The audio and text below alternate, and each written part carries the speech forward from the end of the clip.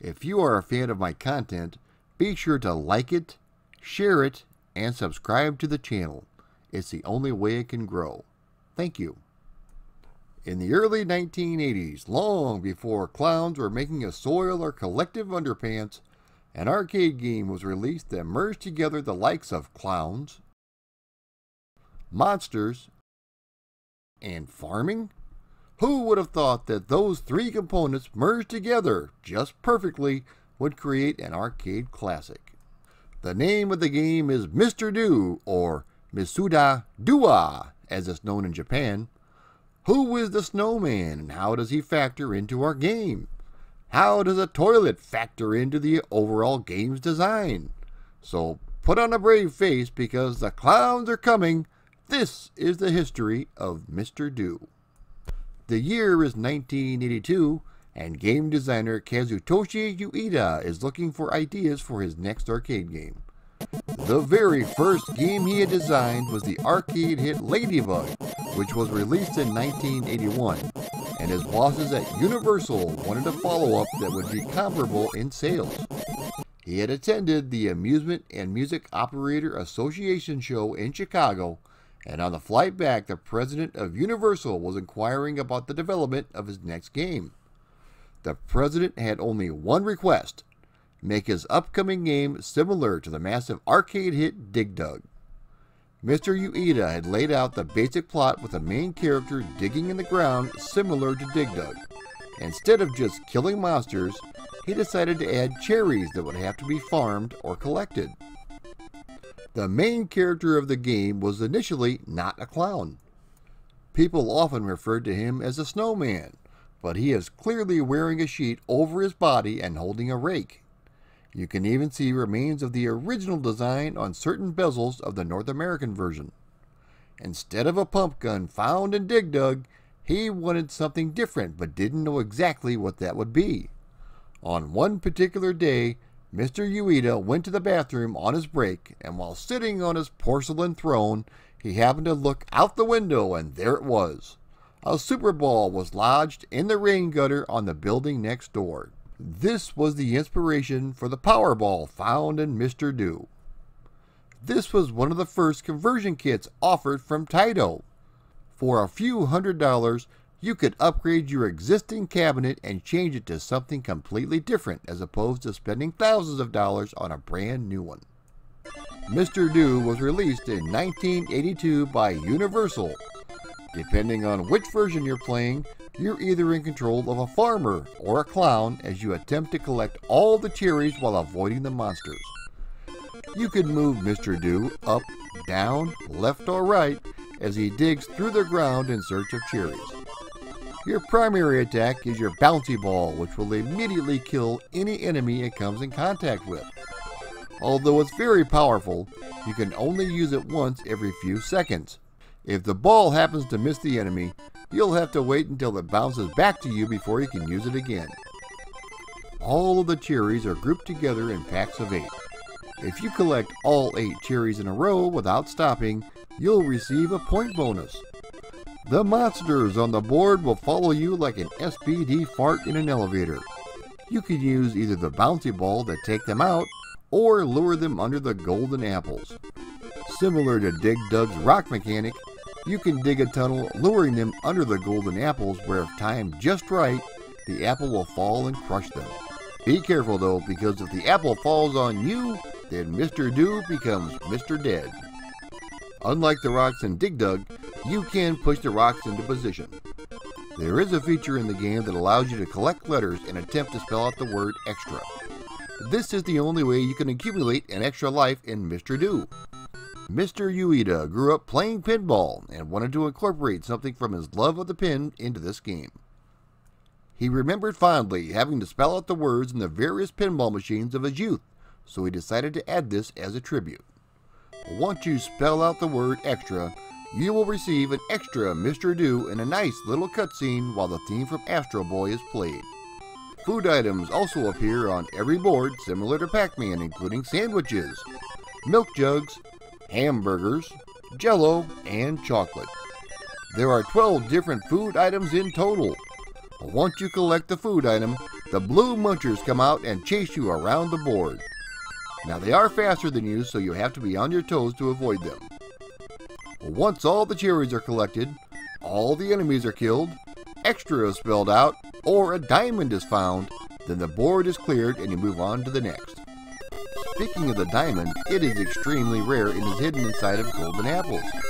If you are lucky enough to grab the diamond, not only will the level clear, but you will also be awarded a free game. Again, similar to being awarded a free game in pinball. In early versions of the game, when Mr. Do dies, his head inflates to about five times its normal size and pops. Perhaps they felt this was too similar to Dig Dug, so they changed it. After every three screens, there is a brief intermission which shows the times you completed the previous three levels in. In the first revision of the arcade game, there is a glitch that will give you 255 lives. I will leave a link in the description below with a video explaining how to do this. Mr. Do was a massive hit and just about every popular platform got a home conversion. Datasoft was in charge of the home PC ports while Coleco handled the home console versions. Let's start this off with the Atari 2600 version. For a game running on 1977 technology, this isn't too bad, aside from the bluegrass, that is. Not as many cherries on screen or golden apples, but what's there looks pretty good. The music and sound effects are very good, along with the controls. They are nice and tight, the way they should be.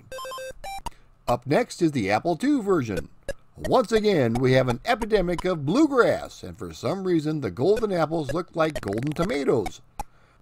Everything else looks really good, but the sound effects... Now, I've joked before about games sounding like flatulence, but seriously, listen to the apple fall and break and tell me what you think. It sounds like one of those short, squat diarrhea farts. Anyway, the game controls good and that's all that matters. The MSX version starts out very well with a nice representation of the arcade game including green grass. The sprites are fairly large and detailed except the monsters look like radioactive baby chicks out for revenge. However, the opening song, which should last just a few seconds, plays the entire time. It's beyond annoying, especially if you're a fan of the arcade game. The controls are a bit too stiff in my opinion, and the speed of the game is just a bit too slow. The ColecoVision port is the one I had growing up as a kid, and it's a pretty good conversion. Looking very similar to the MSX release, but with faster gameplay. The sound effects and music are well done, and the controls feel just like the arcade game. Up next is the Atari XE version. They did a really good job of representing the arcade game. The sprites are nice and detailed, although the cherries seem a bit squished. The colors seem a bit drab as well. The speed of the game is very close to the arcade original, but the music could have been done better. The controls feel like the arcade game, which is always a good thing. Up next is the good old Commodore 64 version. The graphics are nice and colorful with detailed sprites. This is one of the few home versions that featured all of the cutscenes from the arcade game. Sound effects and music are spot on with good renditions of the original. The gameplay is nice and fast, making this one of the best 8-bit conversions on the market. The original Game Boy even got a version of Mr. Do and it's really well done. The, graphics have been modified due to the lack of color, but the compromises in no way hurt the gameplay everything stands out and is easily visible. Some of the music has been changed, which is a bit of a downer, but the gameplay is nice and fast. Well done. Up next, we have the Super Nintendo version. It's a bit odd that we never received an NES version, but we did receive one for the 16-bit console.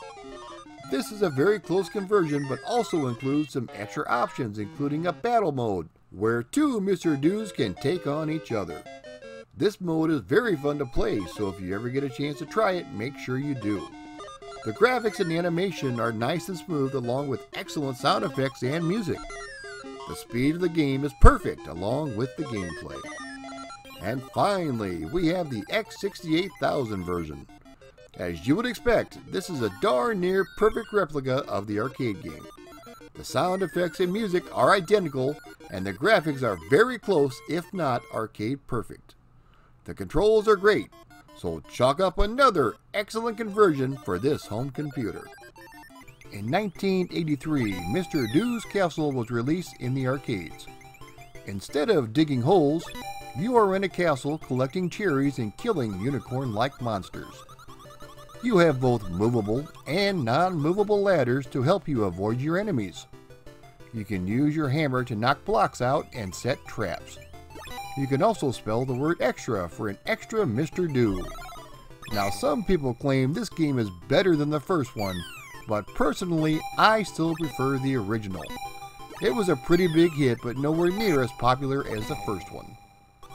In 1984, Mr. Do's Wild Ride was released. This time, you're on a giant roller coaster collecting cherries as you try to reach the top. You have to avoid the roller coaster cars by climbing up the ladders. This time, the game is timed, so you have to be quick. This did not sell very well, but it was not the last game in the Mr. Do franchise. In late 1984, Do Run Run was released. This time, you have your Powerball back, which is used to defeat the monsters. In this game, you have to pick up dots that are lying along the playfield while leaving a line behind. You have to close off each section of the playfield with your line similar to the arcade game Qix. This sold even less than Mr. Do's Wild Ride. In 1995, a full 13 years after the original game was released, Neo Mr. Do came out. This was released by Visco for the Neo Geo MVS system. The gameplay is very similar to the original, only with much better graphics and sound. It was never ported to any other home system. And that about covers the history of Mr. Do. Whether he's a snowman, a farmer, or even an insane clown, chances are you'll have a fun time playing whichever version it is. So if you never had the chance to play Mr. Do, give it a shot. You'll be glad you did. If you would like to support me on Patreon, please do so by clicking the link below. Also, be sure to like, share, and subscribe to my content. A big thumbs up always helps. Thanks for watching.